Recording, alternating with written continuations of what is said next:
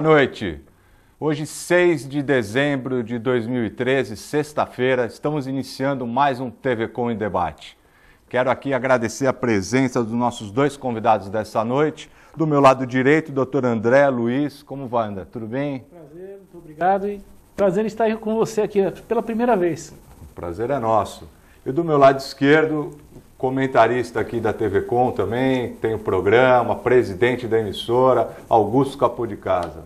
Augusto, prazer, faz tempo que eu não faço um programa com você na bancada, hein? É verdade, Rogério. Acho que faz bastante tempo mesmo, é um prazer muito grande. Sexta-feira, participação do doutor André, comando do Rogério Conde. Um bom programa para todos. É isso aí. E aproveito, já estamos iniciando o nosso programa e já convido você, telespectador que está nos assistindo, que participe, faça sua pergunta, interaja com a gente através do 21384677. Faça sua pergunta conforme os assuntos forem sendo abordados. André, vou te chamar de André, tá bom? Vou tirar o doutor, que fica mais fácil para a gente conversar. André, hoje sexta-feira, né, se iniciando aí em dezembro, começando aquele calor, iniciando o final de semana. Hoje nós já tivemos é, o sorteio da Copa do Mundo. Você acompanhou, Augusto? Acompanhei. Da... acompanhei. Bacana, né? Bom, achei muito bonito um o cenário. espetáculo bacana. Gostei tudo. bastante. Então, e, e uma notícia que, que. Uma boa e uma ruim. A boa, que a gente pode estar comentando aqui, é que hoje chegou pelo aeroporto o, o, o turista de número 6 milhões. É, né? Uma Argentina, né? Uma Argentina. Então, eu acho que é um número bacana, apesar que eu acho que está muito aquém ainda do potencial do nosso país. Queria saber o que, que você acha dessa marca dos 6 milhões, recorde de turismo no Brasil. Quero saber do Augusto também. E em seguida, já complementando, que por ser uma sexta-feira, outra, é, outra notícia não tão boa para nós aqui da região, que nós não temos para esse final de semana nenhuma praia com a balneabilidade aprovada pela CETESB. É, em virtude das chuvas que tiveram nesses últimos dias, todas, muita água vai para o mar e as nossas praias impróprias. Queria que você comentasse sobre o turismo e sobre a vulnerabilidade das nossas praias. É, turismo, infelizmente, o, o Brasil ainda está devendo muito né, pelo turismo. É, nós temos aí, o turismo está na, na, nas primeiras posições aí no mundo é, em economia, né? Então, é uma das, ter, se não me engano, a terceira, segunda ou terceira maior indústria do planeta é a indústria do turismo. Então, mas infelizmente o Brasil ainda tem muito ainda que ainda deve muito é, é, com relação à receptividade aí da, de turismo, de turistas, uh, várias questões, até questões sociais, como a, a, essa, esse problema da prostituição infantil, do turismo sexual, que ainda, ainda existe em, larga escala, principalmente nos, nos, estados do Nordeste. Infelizmente é uma, é uma preocupação muito grande precisa ter bastante é, olhos para esse problema. E chegamos aí aos 6 milhões, né? Vamos ver, na Copa do Mundo a, a, a, a previsão é, é, muito maior e eu não estou vendo assim, não estou vendo é, é muito é, empenho em é, tentar. O que eu vejo só é aumento de preços, os hotéis já estão com, com um preço 4, 5, 6 vezes mais do que do que o normal. Então eu estou meio preocupado com essa, com essa situação que está se apresentando aí. Vamos ver se a gente consegue mudar. O Augusto, o André está pontuando esse problema agora é, em virtude da, da, proximidade do evento da Copa, tudo, mas a gente tem um problema também, acho que muito grande, de infraestrutura e de qualificação de mão de obra para o turismo. É, a gente espera que nenhum desses 6 milhões venha tomar praia venha tomar banho de sol, nas nossas praias aqui, né? Você sabe que eu acho que há uns 10 anos, ou mais até, né, é, eu debato esse assunto no meu programa e começa pela balneabilidade, mas passa por outros aspectos. Né? A questão é, é, do turismo é cultural. Né?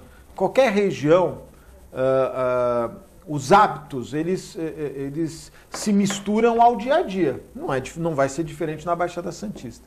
Nós passamos a vida toda, e nós mais velhos, né, o Rogério quase aos 50 anos, o doutor André um pouquinho mais novo, eu com 40 e poucos, nós passamos por aquela época que o turista era mal visto na nossa região. A gente chamava o turista de paulista. Quem gostava do paulista? Ninguém. Farofeiro. Né? Era o farofeiro, entre outras coisas, né?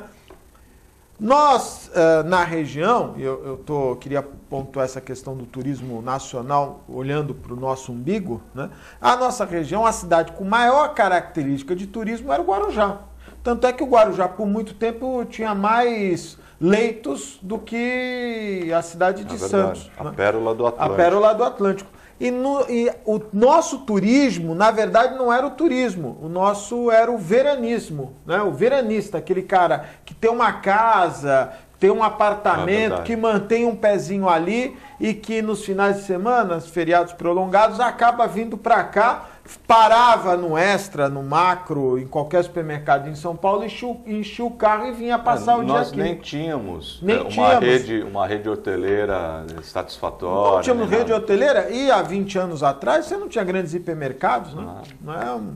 Outro dia eu estava comentando com um amigo uh, dos bons tempos da lanchonete do Eldorado. Né? Uh, é não sei se o Eldorado era tinha nosso... aquela lanchonete suspensa, aquilo é, era um. Era. E, e, lá tomar um lanche era um, era um point, negócio, era um né? point. Era um é. point, uma coisa que marca muito a nossa, a nossa vida. E uh, não pela lanchonete, mas sim pelos momentos agradáveis, naturalmente. Mas uh, essa questão do veranismo, do veranista e do turista, pontuou a nossa região. E aí eu acho que nós ficamos muito tempo sem investimento uh, em atrações, em equipamentos para atrair o turista verdadeiro. Eu, eu sempre faço essa pergunta. Se você casar de novo, Rogério, você não vai casar que você está muito bem casado. Mas se você casar de novo, você vai passar sua lua de mel em Santos? Se você morasse em outra cidade, você viria passar a lua de mel em ah, Santos? Dificilmente. Dificilmente. Não tem um, né, um, atrativo. um, um atrativo. O aquário. Aquário, ah, mas é a maior visitação. Né, a gente até respeita, mas sabe que essa como é feita essa visitação, né? Nos dias de semana que leva as escolas municipais e que no final de semana não tem outro lugar para ir, você acaba levando as crianças no, no, aquário, mas não é, mas não é aquela atração uh, que realmente uh, pontue o turismo da região. Então acho que nós ficamos estagnados muito tempo, né?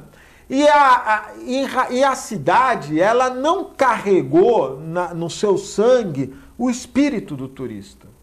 Nós não, nunca fomos bons receptores. É, e, e, perdemos uma grande oportunidade com uma questão de geração de receitas certeza, e tudo. A, a cidade de certeza. Santos ficou sempre muito atrelada ao estigma do porto. Ah, porque o porto, porto e porto, e perdeu o timing do né, turismo. Do turismo. E poderia ter alavancado muito. E aí perdemos o porto, porque as grandes empresas saíram daqui estão voltando agora, de 3, 4 anos para cá, voltando a se instalar. Então nós ficamos um tempão aí perdidos. Qual é a nossa vocação? É verdade. E o entorno, não é? O entorno, porque a praia é imprópria, não é só por culpa de Santos. Você tem um não, entorno. Não, então você tem os problemas das palafitas no Guarujá, prainha, por exemplo, que faz todo mundo está fazendo cocô no canal, direto, em loco. Esse, esse cocô vem pelo canal e contamina as praias. Né?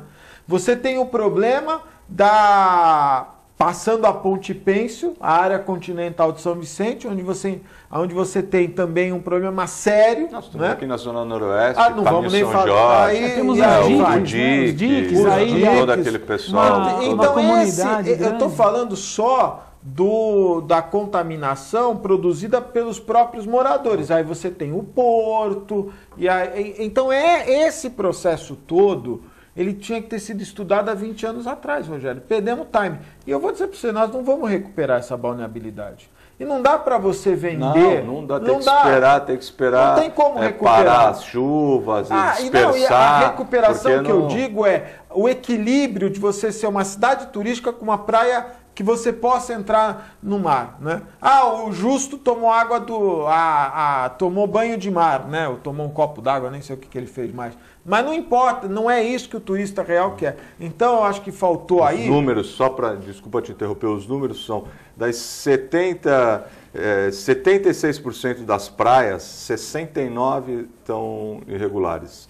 Todas de Santos, São Vicente, Praia Grande e, e Mongaguá estão impróprias. E você sabe qual é no ano no ano, 70% dos dias, elas estão impróprias. É verdade. 70% dos dias. E é uma então, pena, né? isso, isso se, eh, fica atrelado à visitação eh, eh, internacional. Não é? Quer dizer, você tem um problema em Santos, aí em São Paulo você tem outro problema, Rio de Janeiro é a insegurança, ao Nordeste a prostituição. Né? Então, e realmente acaba ficando muito pouco, eh, muito pouca atração para o turista internacional. Não, é- Nós é- estamos, nós estamos perdendo também, é, uma- nessa área de turismo, eu acho que Santos também está perdendo, deixando é, é, a desejar também por falta de planejamento a questão do turismo de negócio. Ela foi alavancada agora recentemente pela essa onda, que é uma, no fim virou uma marolinha, essa questão do pré-sal,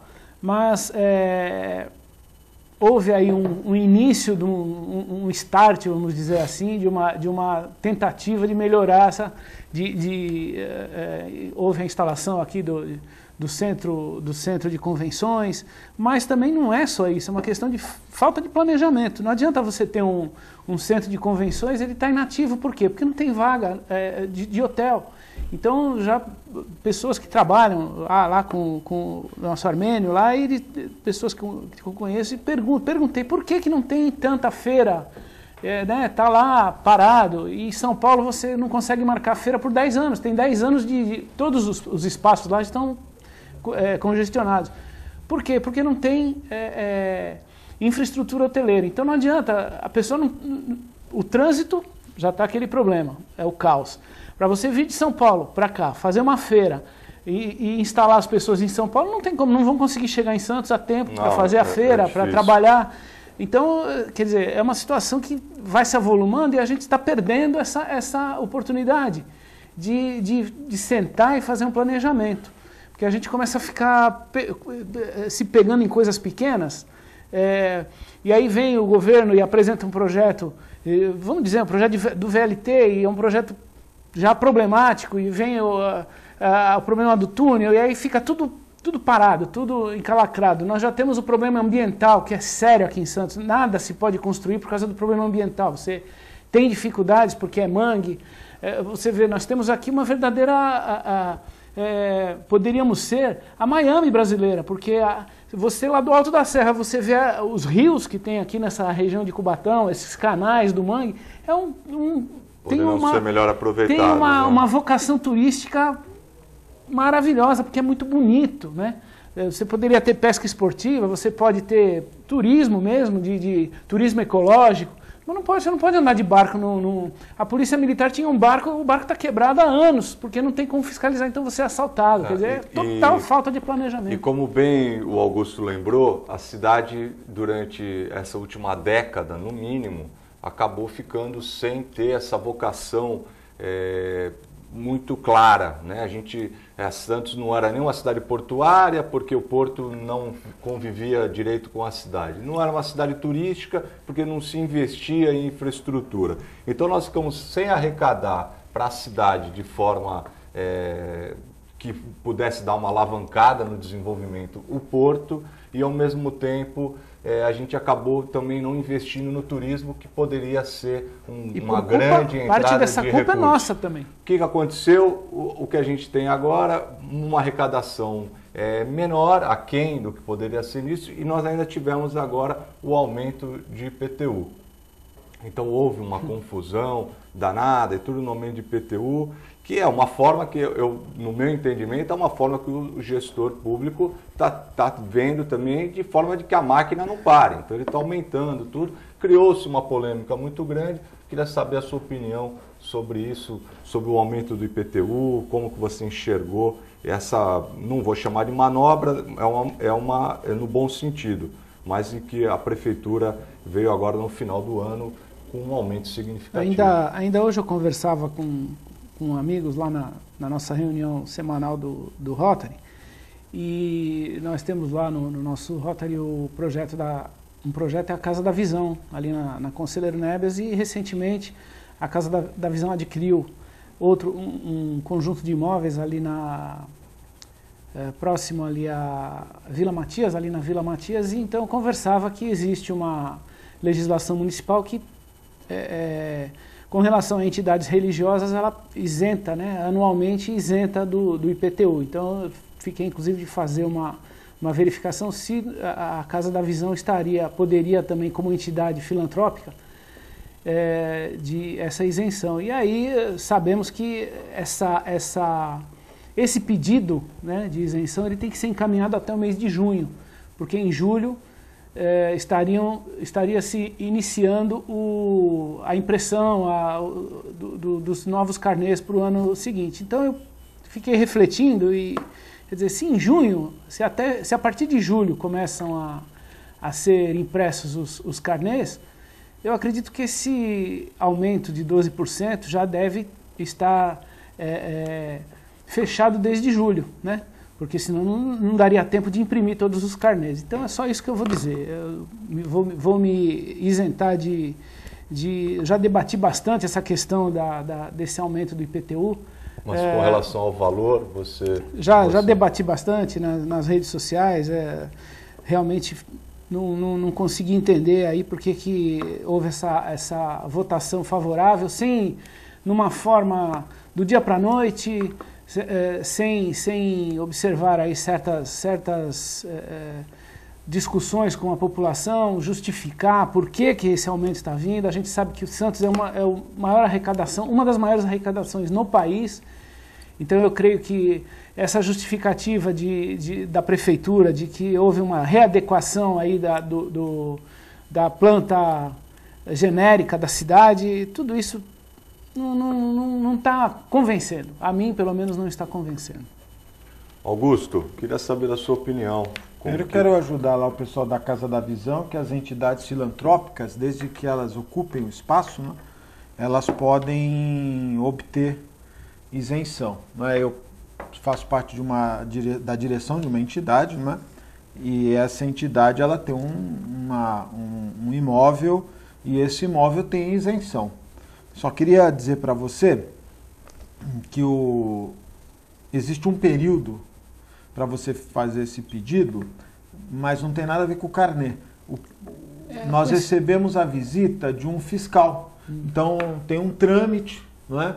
Uh, você faz o pedido, vai um fiscal lá, vai ver se realmente o imóvel está sendo, tá sendo, utilizado, pela, pela entidade, entidade, pela entidade e tal, e acaba é, é, gerando essa, esse benefício da isenção. Né? O que é muito, muito é, importante para as entidades que realmente atuem. Né? É, e lembrando que esse benefício para entidades filantrópicas é de, independente se ela tem um trabalho social ou não. Né? Se ela é uma entidade sem fins lucrativos na sua razão social e aquele imóvel pertence ela tá a essa, apta ela a tá pedir apta a, a pedir. Por exemplo, as universidades. A maioria das universidades em Santos não pagam IPTU. Você sabia, André? É, são isentas de vários impostos. Né? Não, mas você sabia que... que... não pagam IPTU?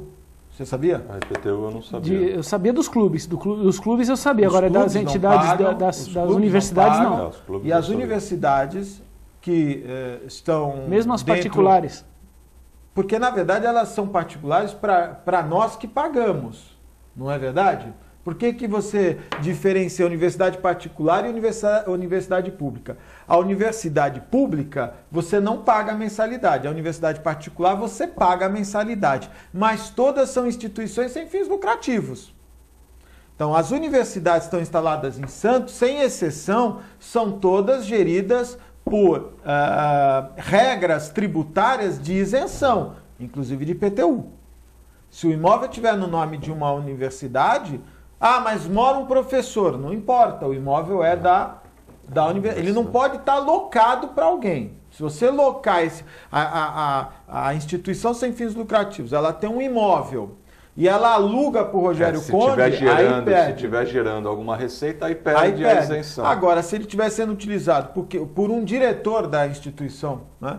Então, o Rogério tem uma universidade, ele é o diretor acadêmico, financeiro, e ele mora na, na, na, naquele imóvel que pertence à universidade, ele não precisa, a universidade não precisa pagar IPTU. Até vou fazer um, um, um, E eu queria fazer aqui é, é, essa colocação importante, porque ninguém é a favor de aumento nenhum. Não é?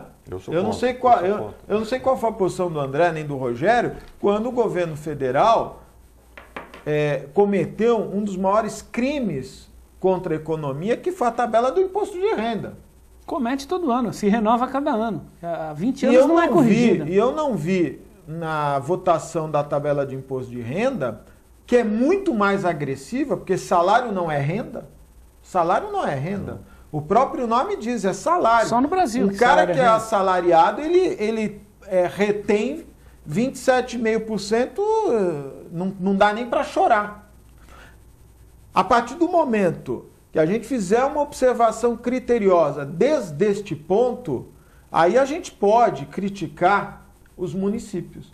E eu não estou fazendo defesa nenhuma aqui de ninguém, do Paulo, do Billy, do João, do José, até porque tenho críticas ácidas. Quem assiste assiste o meu programa, eu tenho críticas ácidas a alguns dos nossos governantes. Mas eu queria deixar claro que a gente, hoje, não é? eu, graças a Deus, tenho plano de saúde, você deve ter plano de saúde. Você tem plano de saúde, André? Sim. Todos nós temos aqui plano de saúde nessa mesa. E não dá para a gente é, entender que o município continue bancando a saúde da maneira como os municípios vêm bancando. Se o governo federal não fizer uma atualização imediata dos valores referência que são pagos às instituições que atendem o SUS, olha, Ah, isso, isso- é uma conta matemática. Ah, isso já está sendo vai pleite- quebrar. vai, isso já está sendo pleiteado há muito Mas tempo. vai porque quebrar. estão- Hoje, estão hoje- todos, todos, todos os municípios, todos, Todos, ninguém, não- ninguém mas aí que mais. está. Mas você vai O cobrar valor quem? per capita é um Você vai absurdo. cobrar quem? Não, Você cobra o município. O cara, o provedor das. Hoje, a Santa Casa de Santos atendeu acima do teto que ela recebe, governo estadual, governo municipal e governo federal, 11 milhões de reais. Ela já atendeu hoje. Não vou dizer hoje, 10 dias atrás. Então até ainda estou tô, tô dando uma lambuja de 10 dias. Tem mais um mês. Hoje a Santa Casa atendeu acima do que ela recebe 11 milhões de reais. Você sabe o que a Santa Casa fez? Foi bater na porta de quem? Foi no governador? Foi, mas no governador é mais demorado. Foi na- no governo federal? Foi, mas o governo federal é mais demorado. O, outro dia eu vi o vereador Est- Evaldo Stanislau, a qual eu tenho um respeito muito grande, mas como é legal, tem uma expressão, né? eh, Chula, né? Dizer, eh, que, eh, eh, como é interessante você eh, criticar, e ontem foi uma coisa muito engraçada, né? Porque a ele é novato, ele vai aprender, mas a crítica pela crítica é uma coisa curiosa. Ele ontem fez um discurso contra a aprovação das OS. Não, tô nem, não vou nem entrar no mérito. E porque as OS ah, é um absurdo, porque vão fazer isso, porque o PT é contra. Porra, mas então ele, ele não conhece Cubatão? Não, é, pô, A Pro Saúde, Não, que administra o hospital de Cubatão, é o Moes. A Márcia Rosa, quando assumiu há cinco anos atrás, renovou um contrato de 3 milhões, passou para 7. Não, e ele não falou nada do, do IPTU também, o Não, aumento não, do não IPTU vou nem falar do Paulo. Eu tô falando das OS, né? E o, o governo que mais contratou organizações sociais, eu não tô contra, eu só tô dizendo que nós temos que ter na vida, nós temos que ter, é, é, nós temos que ser equilibrados. Não, faltou acho que um pouco de bom senso. Não é? Não dá pra você malhar e, quebra, e, e criticar o É, sem- negócio se você faz aquilo. Sem olhar para o próprio Você tá umbigo. entendendo? Essa questão do IPTU, eu queria saber, eu vi tanto viúvo. É eu acho que ele poderia ter se limitado a dar a posição pessoal Ah, dele. com certeza. Não o falar o- partido. E olha, eu sei que você vai chamar o intervalo, mas essa questão do IPT é uma coisa curiosa, porque eu nunca vi tanto viúvo e viúva e gente que é, talvez esteja descobrindo agora essa coisa de, de protesto, de não sei o quê, né? E me lembra, eu até comentei isso com o Eduardo Elias. Você assistiu, todos nós assistimos, nas manifestações, a quebradeira que teve na, na, na, na Prefeitura de São Paulo. E teve um jovem que foi fenômeno, né? Que ele pegava a grade, quebrava tudo, não é? Você lembra? Desse... Ele está respondendo o processo. E eu, agora eu vi uma entrevista dele na UOL e ele é o cara, pô, esse cara é um santo. Ele, puxa, ele se envolveu, mas ele é filho de uma caminhoneira com um costureiro. Ele estava num momento, eu fico pensando, caramba, se ninguém, será que ninguém chegou nele e falou, bichão, tu tá quebrando tudo, aí dá um tempo. Quer dizer, a, a gente às vezes entra nessa coisa de, de falar o que pensa, né? E fazer o que acha que é correto e esquece de ponderar. Eu queria saber aonde estão todos esses viúvos e todas essas viúvas que estão reclamando do aumento de IPTU, e olha que eu sou a favor que não aumente, porque eu pago IPTU, cacete. É lógico que eu sou contra. Sabe quanto foi o aumento de IPTU no ano passado? Acima da inflação? Em Santos? Quanto? 100%. A inflação em Santos no ano passado foi 4,5%, 5%. O aumento do IPTU foi 9%. Quanto é que foi no ano anterior? Você sabe? Não. 17%. Você sabia? Não. Pô, olha só, desculpa. Você não sabia que era, foi 17%? Você não sabia? Não, não, não então, percebe, percebe que é uma manobra política? Percebe que todos nós, a, a gente acaba se envolvendo numa manobra, numa manobra política. Então uma pessoa levanta uma bandeira, né? Quebra tudo, vamos parar tudo, todo mundo é ladrão, todo mundo é safado, ninguém presta, as coisas já estavam acertadas, porque o aumento foi 12%, mas a inflação foi 6, 5,5, 5,40. A inflação oficial, porque vai na feira, né? Vai comprar material de construção, vê se aumentou 4%, 5%. Não, pensar. Então, na verdade, o que acaba acontecendo é o seguinte: nós estamos reféns do governo federal. O governo federal faz uma arrecadação monstro. Nós vivemos num processo que não é municipalista. O município só tem ISS, só tem o IPTU. As cidades que têm um polo industrial têm um pouquinho mais. E aí, pega Cubatão, que tem um polo industrial, e vê o que aconteceu com a arrecadação do polo industrial de Cubatão. As empresas, as empresas foram para os estados que tinham uma alíquota menor. Então, sabe o que está acontecendo? Segurança! Mataram o médico em frente ao Ana Costa. Pô, mas não tem guarda municipal, mas não tem câmera, mas não tem isso, mas não tem aquilo. Pô, o município tem que colocar. Vai no PS Central, não tem remédio, não tem soro, não tem atendimento, não tem enfermeiro, o médico manda ganhar ah, e aquela, reais. E aquela, e aquela discussão. E na verdade, a gente mora no município, no município. Né? O município é que tinha Com que ter certeza. o poder de, de, de gestão sobre o recurso. E aí, o que, que o, o, prefeito tem? E não é em Santos, até porque eu não morro de amores pelo Paulo Alexandre Barbosa. Não é em Santos, como ele não morre de amores por mim, ainda bem. Não é em Santos. É, é... Cubatão, Guarujá. Ah, Guarujá esse ano deu um aumento menor. No ano passado foi 40%. Cubatão foi 40%. Então eu queria só é, é, deixar aqui um alerta.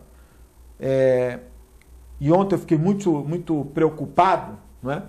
porque mais do que servidores públicos, eu vi o Sindicato dos Bancários manifestando lá, o BIG, inclusive xingando os vereadores, por ofendendo, por ocasião ofendendo, da discussão, da discussão da, das OS, organizações sociais. intimando o vereador Benedito Furtado, que se colocou uh, uh, como, quando não é nem sim nem não, é se se absteve, porque apresentou emendas e falou, vou aguardar... A, porque nem isso você pode optar. Olha, eu vou me abster nessa primeira votação porque eu apresentei emendas. Eu quero ver o que o prefeito vai falar das minhas emendas. Então vou me abster dessa primeira votação. Na segunda, eu vou votar. Ele foi intimado pelo Big. Eu queria saber o que, que o seu Big fez nos últimos 20 anos nessa cidade, além de ser afastado do Banco do Brasil, continua ganhando salário para ser dirigente sindical. Aí assim, uma eleição é ele, uma eleição é o, é o o outro menino lá, o do óculos. Uma eleição é ele, uma eleição é outro menino. E nós, porque o Banco do Brasil é nosso, continuamos pagando salário para ele ir lá jogar coisa nas pessoas, xingar, palavrões.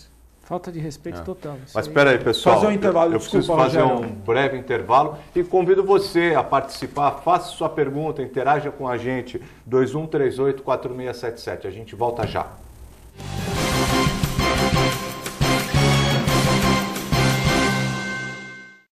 Todos os dias aqui na TV Com, a partir da meia-noite, o jornalista Pedro Alcântara leva até você as festas mais badaladas da Baixada Santista e Grande São Paulo. Eventos culturais e artísticos em entrevistas descontraídas e inteligentes. Oferecimento de Fratelli Fato. Rua Tolentino Filgueiras, 77 Santos. E WhatsApp Santos. Há 10 anos formando craques no inglês. No Gonzaga, Ponta da Praia e agora também em São Vicente.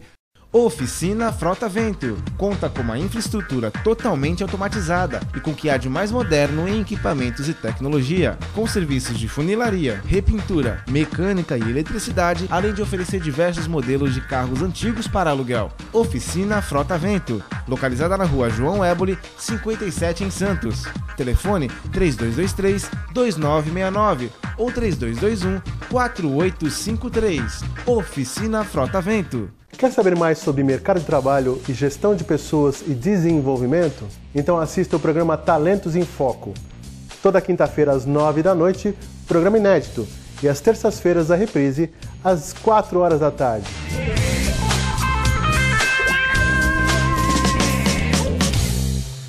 A TV Com traz qualidade e interatividade para a Baixada Santista.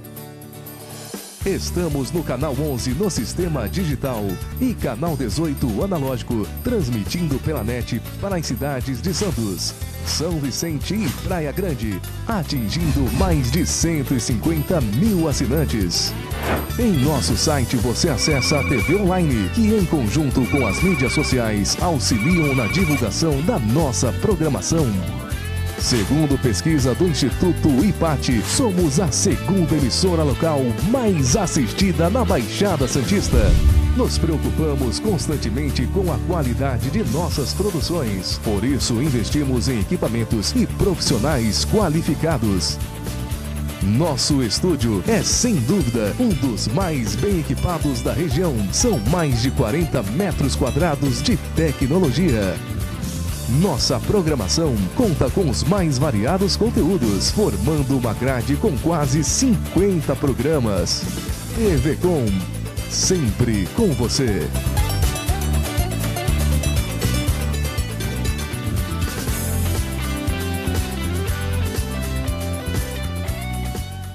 Olá, eu sou Fernanda Vanucci, quero convidar você a acompanhar o meu programa no ar todos os domingos aqui na TV Com, canal 11 da NET. Vamos falar sobre variedades, entretenimento, saúde, qualidade de vida.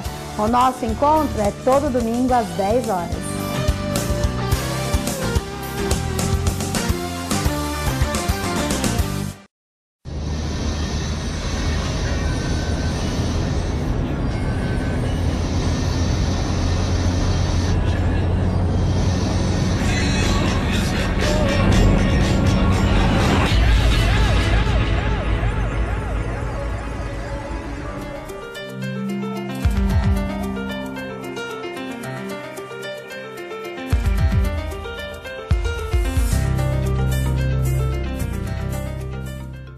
Você quer algo diferente e está por dentro de tudo que acontece em sua cidade, mande dicas, sugestões de pauta pela nossa fanpage facebook.com.br tvcom.santos. Interaja com a programação da sua TV Com. TV Com, interagindo com você. Olá, sou Rosilma Roldan e convido vocês a assistirem o programa Jovens Pensadores todos os sábados às 15 horas, com reprise segunda-feira às 16 horas. O programa feito para você que quer expor a sua opinião livremente, o programa em que o jovem é a estrela. Conto com sua participação, com sua audiência e com seu prestígio.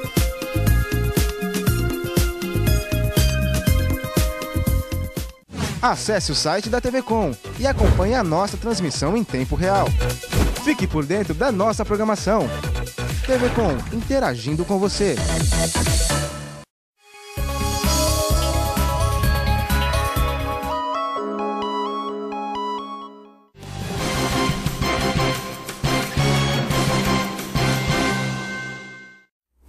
Olá, estamos voltando com o nosso TV Com em Debate. Hoje, com a, com a ilustre presença do Augusto Capô de Casa, que estava aqui agora, e do advogado André Luiz.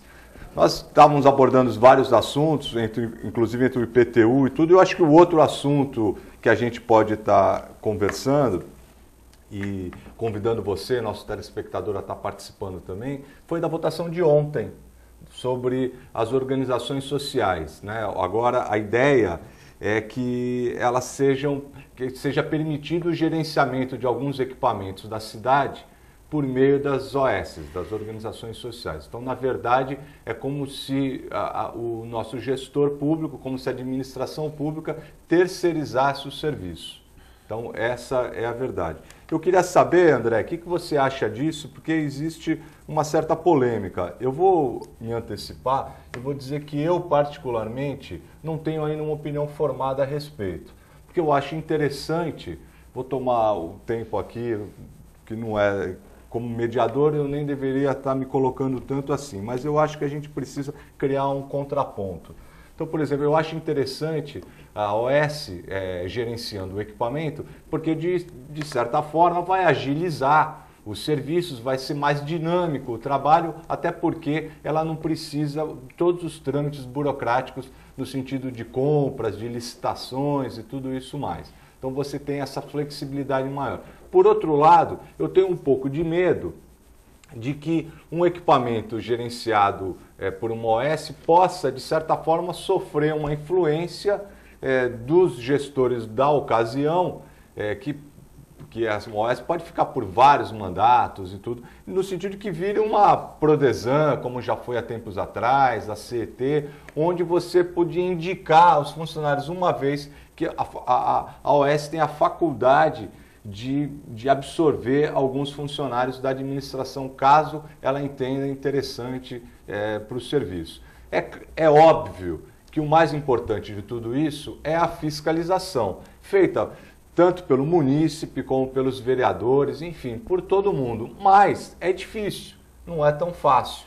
Queria saber a sua opinião a respeito. Né? Eu, eu vou acompanhar você, Rogério, porque é, Daí, na minha função, de, na minha atividade diária, na minha atividade profissional, eu sou advogado na área trabalhista e a gente convive com a terceirização de serviços diariamente. E nada mais, nada, a OS nada, nada mais, nada menos do que uma terceirização pelo Estado. Não é? é, é óbvio que, sendo uma, entre aspas, uma organização social, é, a questão aí, primeiro, transparência, né, transparência, porque, como você diz, ela fica sujeita aí à, à, administração. Tem que saber quem são esse, quem é essa OS, quem são os gestores, porque se é, sabe que no, no Brasil, no Brasil nós temos aí né? um hotel que ia empregar um uma pessoa aí que está em evidência ultimamente, né? Que ele tem um dono que é laranja, que mora lá no, no, Panamá. É, o Zé Disseu, quer dizer... É, não, não, dá então pra gente, temos... não dá pra gente comparar, né, esse tipo de... de, é, de... Até porque a, a estrutura que foi... Não, não. Até porque, Olha, até eu acho que a gente também tem peraí, minhas dúvidas. Eu tenho minhas dúvidas. O hotel, gente... o hotel, Zé Dirceu não era administrador, ele já trabalhando na faxina, não é isso? Não.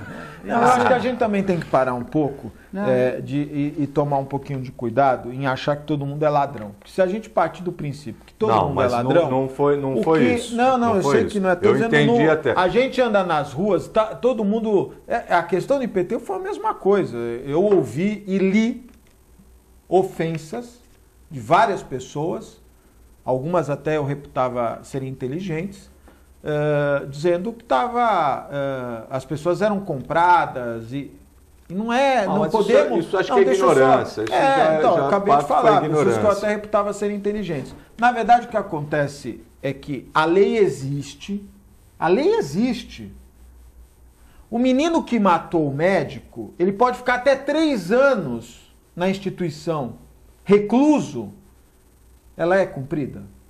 Você percebe? A lei ela existe. Não, eu, eu. Nós precisamos começar a cumprir a lei. Olha, o José Genuíno tem uma arritmia cardíaca e tem pressão alta, ele precisa se tratar em casa. Ótimo. O José Genuíno e mais 50 então, mil caras então, que devem mas, ter o mesmo então, problema. O que eu estou querendo dizer, a lei um não está sendo Para a gente poder, senão, senão a gente não debate da forma correta. Que, que eu estou querendo dizer com isso? Não é porque a faculdade permite, a administração tem a faculdade, tem essa permissão de terceirizar, que significa que é bom ou não. não eu não estou aqui nem dizendo que é queria, é bom, eu queria que só dizer... Eu acho que tem os prós e os contras. A lei Nós temos... que foi apresentada não é boa ainda. A lei que foi apresentada precisa ser melhorada. Então, vai contratar uma OS. Nos Estados Unidos, o bombeiro é. não, é do munic... não é municipal, o bombeiro é privado. Nos Estados Unidos, e, ah, mas por que os Estados Unidos? Que é um exemplo de resultado. Nos Estados Unidos, o preso fica numa cadeia que não é pública. Muitas delas são e muitas, muitas não, são. não, são. E é um sistema privatizado. Se criou o formato da OS para que o Ministério Público e o Tribunal de Contas possam fiscalizar. Porque numa empresa privada pode fiscalizar, mas tem as suas limitações. O André, o André advogado sabe disso. Na OS não, o próprio estatuto prevê a fiscalização. O que tinha que mudar? O André falou muito bem, ele é advogado trabalhista. O camarada trabalha, trabalhou na UES, que prestava serviço para a prefeitura, no PS Central. Aí ele é mandado embora, não paga os direitos dele. O que, que ele faz? Ele entra com a UES, mas ele amarra ele a, é prefeitura. a prefeitura. Não é isso? Subsidiária, responsabilidade subsidiária. Uma falha no projeto de lei apresentado na Câmara ontem. Isso, esse, é, esse projeto de, tem um projeto de lei na, federal, uma lei Sim. federal que vai. É, Na verdade, está no Supremo tá, Tribunal. Está isentando, Isso. Tá isentando a, a, o poder público dessa responsabilidade com base na lei das licitações, o que é absurdamente ilegal. ilegal. O que não cabe. Uma lei, a Justiça do Trabalho, e nós todos sabemos como é a Justiça do Isso Trabalho. Isso vai fomentar a, a inadimplência. Com certeza. O que acontece o... na terceirização? Uh, não estou dizendo que são todas, a maioria, algumas empresas fazem isso estão, não recolhem os impostos, porque o INSS, por exemplo, é a cada cinco anos que é uma avaliação, não recolhe esses cinco anos. Quando ela quebra, ela não paga ninguém e o tomador de serviço é, vai ser a prefeitura ou vai ser o Estado e não vai pagar nada. Não vai, quem vai ficar com prejuízo? O empregado. Então, mas aí que vai está. ficar com papel na, na mão lei, vai receber. Na lei que está, foi, foi apresentada ontem para a cidade de Santos, um gatilho que evitaria isso é que a OS que for contratada tem que apresentar e manter patrimônio ou liquidez. Ah, porque exatamente. Olha, para garantir, para garantir. Não tem isso. A, a OS ela não precisa ter isso. Precisa colocar lá. O senhor quer trabalhar em Santos? Quero. O senhor vai contratar quantas pessoas? 300 pessoas? Vai ter lá um profissional que vai fazer uma conta e dizer, ó, o senhor tem que guardar tantos milhões de reais aí, depósito, porque um depósito ou tem que ter, enfim. Como é a ANS? O senhor quer ter plano de saúde? Quero. O senhor é obrigado a manter duas folhas e meia do que o senhor arrecada tem que estar tá lá guardado no caixa. Porque se o senhor quebrar, então, tem que vai bancar. aqui, vai aqui uma, uma colocação. Vocês não acham, os dois, vocês não acham que faltou, de repente, por parte é, da administração, é, uma, um, um, chamado à discussão maior, um diálogo maior, debater mais, até para que o, o próprio munícipe é, fique mais esclarecido com relação ao funcionamento. Nós temos, tudo, nossos... nós temos em Santos uma das melhores faculdades de medicina do Brasil, né? a Lusíada. É uma, é, uma é uma grande faculdade. Por que não se vincular, por exemplo, o... o... Mas a Lusíada vai ser uma das OSs. Aí sim, já estou antecipando eu acho que uma universidade. Aqui. A Lusíada a vai saúde ser uma das OS. Tem que ser dada prioridade para a universidade. Vai hospital na, escola. Eu acho errado. Vai ser na rua São Paulo, com a Joaquim Távora, o, onde vai ser o PS Central. Ali vai ser. E a, a Lusíada já vai ser uma parceira. O que eu, eu, eu não concordo no projeto de lei, por exemplo, não vai haver licitação. Deveria haver uma licitação. Quem quer administrar o PS Central? Chama as OS, que quer não empresas, as OS, e cada uma vai apresentar um projeto. A OS tem que ter, além do projeto, capacidade técnica. O, a lei também não prevê isso. Então, por exemplo, o Rogério monta uma OS, lógico que a OS tem que ter 40% de representantes do poder público, 30% de representantes. Parece que ela é eclética, e não é. Se você for pegar uma obra, Você tem que apresentar um documento chamado atestado técnico, não tem? Claro. Por que, que a OS não precisa? Vai lidar com saúde. O formato, ele funciona. Cubatão, enquanto a Massa Rosa pagava em dia a Pro Saúde, o serviço do hospital de Cubatão era considerado um dos melhores. Outro, Deta- outro aspecto que também a gente tem que, tem que levar em consideração, porque não é só, como você disse, a OS teria que ter um, um depósito, alguma coisa. Tem que ter uma garantia também que o poder público vai, Vai pagar, porque o que, vai- o que acontece muito é o quê? A- a fa- na primeira fatura, a- que aí o que, que gera? Gera Vicente. superfaturamento, São que aí você Vicente- fica seis meses sem receber. São Vicente, o empresário, o empresário é tem que bancar. São então tem uma Vicente- série de São situações que, Vicente que atualmente já está agora, acho que desde o início da semana, com, a- a- com a- o atendimento de saúde paralisado por conta de um OS que... que Não recebe. Que é foi Isama. terceiro e não está recebendo. Não Então, recebe. e aí? E não- e não Como é está que fica? recebendo. Então, Esse é um tudo problema. Isso, tudo isso tem que E ser olha, eu vi muito, uma prefeita muito na televisão esquematizado. dizer o seguinte: ela falou, a entidade que prestava serviços, uma cidade no interior de São Paulo, e foram é, pre- pre- é, prefeita de primeiro mandato, foram perguntar, mas ela falou: puxa, mas eu não sabia que eles não tinham recursos. Quer dizer, ela não pagou a fatura e achou que ela não pagando a fatura, a, o, o- a OS Ia- ia- teria que pagar. Um outro aspecto nessa, nessa lei da OS, e acho que a discussão né, não é uma discussão para audiência pública, mas uma, a- a- eu acho que a discussão foi, foi conduzida, é que é muito tumulto, né? Então não dá. Mas ela foi levada para a Câmara numa primeira discussão. Os vereadores pegaram a lei, aqueles que acharam que a lei era boa votaram, alguns furtado, acho que são entre 40 a 50 emendas, né?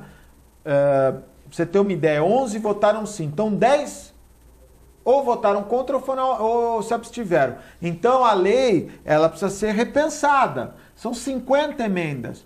O funcionário público lotado naquele órgão, que por, porventura seja de uma OS, se ele não quiser trabalhar no OS, ele tem que ter esse direito. Olha, eu não quero ir. Eu quero continuar, me, me coloque em outra função. Eu, eu passei hoje, co- hoje não. Da Hoje não, como ele é, obrigado. Ele é obrigado. Aí, outra coisa, o funcionário público que tem lá uma insalubridade por trabalhar em determinado setor, uma gratificação por algum, alguma outra atividade, quando ele vai para a OS, ele deixa de lado e só leva o salário. E nós sabemos que o funcionalismo público, de uma tirando os cargos em comissão, né, que é um grande problema no país, o, o governo federal tem mais de 20 mil cargos em comissão. O, o- tirando os cargos de comissão, a faixa salarial da Prefeitura Municipal de Santos e de outros municípios é baixíssimo. Então o servidor, ele depende dos penduricalhos, FGs, insalubridades que fazem parte do seu. Olha, você pode. Eu vou pedir para a produção dar mais três minutos ou dois a três, porque eu tomei três minutos, pô. Rogério, eu não vou falar não, mais. eu não hein? vou. Eu só quero aproveitar para agradecer os- as perguntas, os comentários que, Filete foram ligou, é feitos. verdade? O Constantino do Jabaquara, que parabeniza todos da bancada. Gostaria que todos da nossa cidade pudessem assistir ao programa. Muito obrigado, Constantino. É, ele fala também do lixo, enfim, do filete, que parabeniza também a bancada, pergunta sobre a violência. É, são 11 roubos diários, fora os que não, foram, não são computados, porque as pessoas não fazem BO. Realmente, Filete, a gente vai discutir isso no próximo, no próximo programa. Mandar um abração para o Filete, que é o nosso companheiro aqui da emissora. O Manuel da Aparecida. Rogério, infelizmente, essa Copa do Mundo vai ser uma desgraça por causa dos bandidos, pois o PT paga para fazer manifestações de rua. É verdade, aí ele discorre aqui mais sobre isso. Inclusive, ele assistiu o programa Roda Viva e disse que realmente o próprio pessoal do PT confirmou é, é, que realmente pagam as manifestações. Manuel, um grande abraço para você também. O Paulo Sérgio do Boqueirão também fala sobre um comentário que o Filete fez sobre um pitbull que atacou o dono. E a gente vai, eu vou guardar essas perguntas, a gente na próxima oportunidade vai estar falando um pouco mais também. Quero só dizer que também, rapidinho, é, a gente vai conseguir de repente desafogar um pouco o trânsito. Eu li hoje que a, a- o Ministério do Planejamento cedeu áreas para a Codesp poderem construir alguns pátios de, de Caminhões. caminhões para que eles não descem a serra. Então, um em Ribeirão Pires, Olha na Grande São isso. Paulo, e outro em. Campinas. Um com 180 mil metros quadrados e outro com 150 mil metros. Muito Eu acho bom. interessante, o Codesp está se agilizando para tentar colocar esses pátios de contenção dos caminhões rapidinho. Eu acho que isso é uma ótima. Dizer também que nós tivemos hoje mais quatro condenados do mensalão. Eu acho que isso é uma notícia também interessante para uma sexta-feira, não é? O deputado Um Valdemar brinde. da Costa Neto, que conseguiu, conseguiu, renunciou pela segunda vez. Esse cara, Esse é esse, esse é um artista. Esse tem que estar preso. Mas o ex-deputado Pedro Correia, o Bispo Rodrigues e o executivo do Banco Rural, Vinícius Samarani. Que é o único que vai ficar em regime fechado. Exatamente. Todos os outros vão cumprir em regime semiaberto. Agora, será que eles vão perder o mandato não? Eu já renunciaram, Não, não, não, renunciaram. Não, renunciaram. você poderia perguntar, será que eles vão perder a aposentadoria? Porque o Costa Neto, a aposentadoria é de aproximadamente 9 mil ou 16 mil. Verdade. O Zé Genuíno, eh, de 26 mil. Eh, e o que me chama a atenção, e eu queria, só para finalizar, dizer isso, que é muito importante, é que eh, nós estamos vivendo um momento de, de insegurança, as pessoas estão com medo e todo mundo agora ficou assustado. A qualquer momento você pode ser assaltado. Realmente o clima, né, quando morto, acontece, você de- fica tenso, né? E, e nós temos que mudar alguma coisa nesse sentido do enfrentamento à violência. Né? Mas em contrapartida, ah, nunca eh, se viu a- aquele o judiciário que deveria fiscalizar a forma como está sendo conduzida. Ah, foi preso, foi preso, mas o cara fica em casa, teve pressão alta, foi para o hospital, o outro tá não sei o quê. o E quantos estão na cadeia com tuberculose? É verdade. Então, eh, com problemas. É ah, ou então define, ou solta todo É. mundo, ou a lei para todos. Não dá Não porque dá o cara foi ter. deputado que. É verdade. Augusto, quero aproveitar e pedir para você. Rogério, desculpa, tomei o tempo do programa, né? Presidente, você. Mas eu você toda. pode. Você sabe que ninguém me convida para o programa? Mas eu também não te O convido Manuel mais também não convida, Se porque eu começo a falar, eu para falo mais. muito. Se Eu não- arrependimento não falo muito, matasse. né? Não, e eles estão pé da vida que eles querem ir embora. Nem eu sei, Agora, como é que vai cortar o programa com o presidente da emissora? Não corta! André, André, obrigado também pela sua participação. Eu que eu sei que você não teve muita oportunidade, mas na próxima eu vou fazer um programa só com você. Não, mas é bom porque a gente reflete também, a gente faz um- uma reflexão, porque eu também fui um dos, um dos que, é, na, na verdade, eu, eu briguei bastante por causa desse aumento do IPTU e a gente faz uma reflexão aí para também temos que conhecer também os- o outro lado. E hoje o Augusto esclareceu bastante coisa que eu não, até porque não, não, não estou lá no, no, no- meio da- da- da, Vivendo o dia a dia. o dia a dia.